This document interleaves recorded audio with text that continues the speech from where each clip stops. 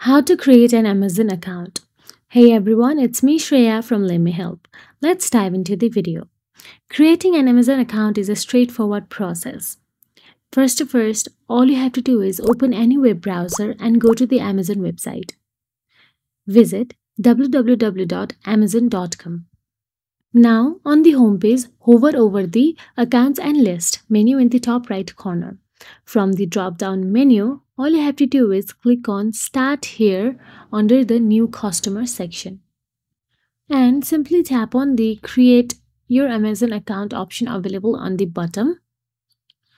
Now, after you do so, you'll have to fill in the registration form. You'll be directed to the registration page, fill in the required fields, enter your full name, input your email address, create a password, and make sure it is strong and memorable. Again, you'll have to re-enter your password and confirm your password. After that, you'll have to verify your email address. Amazon will send a verification code to your email address and open the email and copy the verification code and paste or type the code into the box on Amazon's registrations page to verify your email. After email verification, your Amazon account will be created.